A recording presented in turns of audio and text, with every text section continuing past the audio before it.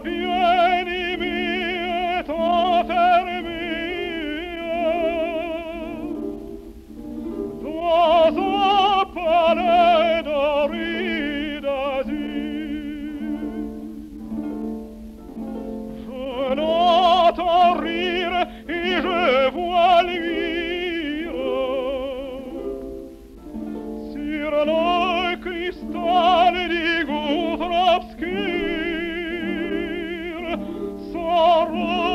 fare